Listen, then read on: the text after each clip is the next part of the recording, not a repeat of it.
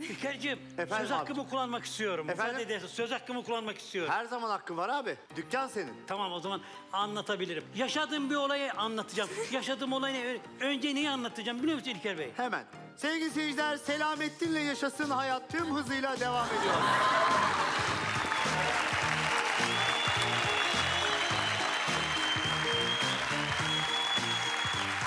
Evet abi buyur.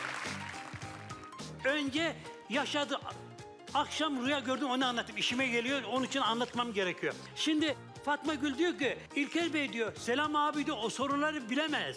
Rüyamı anlatıyorum. Selam abi o soruları bilemez. Lütfen yemek ve elektrik ev aletlerin sorusunu sorun. Öyle diyor siz de kabul etmiyorsunuz. Lütfen kabul edin. Ben de hemen rüyamı anlatayım mı? Fatma Gül diyor ki bana. diyor ki ya e, Demez demez. Fatma Gül öyle demez. Benim bildiğim Fatma Gül öyle demez.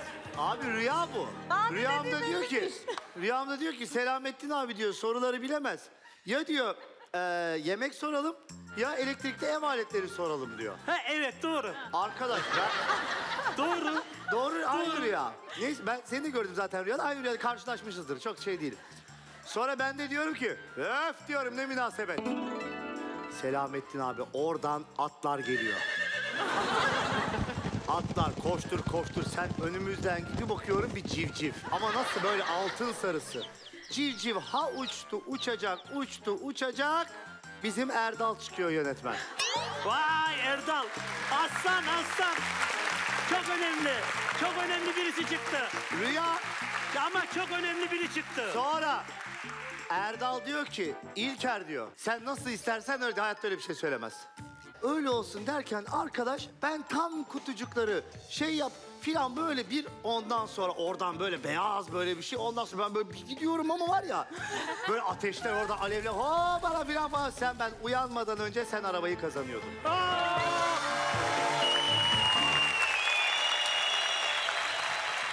Sonra en son uyandım. Yan yatıyorum ayıp söylemesi.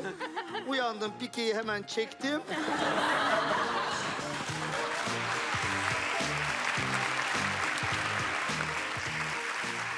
İkincisi şöyle bak. Şimdi şey e, ben işkembeyi falan çok güzel yaparım. Paça işkembe bütün yemekleri güzel yaparım. Bir şeyler dediler ki bana komşular dediler selam abi sen güzel işkembe yapıyorsun. Bir gün bizi çağır işkembe yiyelim dediler. Tamam dedim. Bir de bu arada söyleyeyim arkadaşlar hiç siz kuru fasulyeli işkembe biliyor musunuz? Önce bir onu sorayım. Hiç duydunuz mu kuru işkembe? Hayır. Doğru. Yok, Bilmiyorlar mı? doğru. Doğru, doğru. Şimdi hazırladım. Çünkü öyle bir şey yok. Yok, tabii doğru. Ama var mı yok mu göreceksiniz. Şimdi işkembeyi koydum tezgahın üzerine. Şimdi 10 dakika sonra da gelecek. Herkes yiyecekler tabii ki. Herkese bu da mı rüya? Ya hani herkes dedim yani çağırdım e, komşular, arkadaşlar gelip benim işkembemden yiyecekler. Çünkü ç- güzel işkembe yaparım yani. Abi şimdi tam tam tam tam beş çayı zamanı. Çok da güzel anlatıyorsun. Anlatmaya devam et. Bize çay ısmarlar mısınız?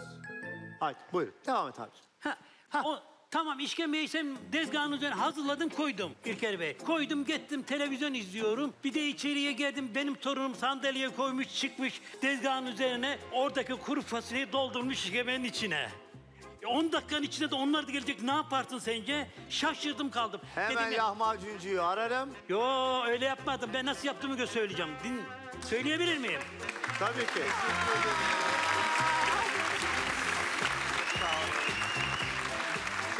Teşekkürler. Teşekkür ederiz. Evet, işkembeli kuru fasulye ya da kuru fasulyeli işkembe. Yeni hayat az sonra işkembeli kuru fasulyeyle devam edecek.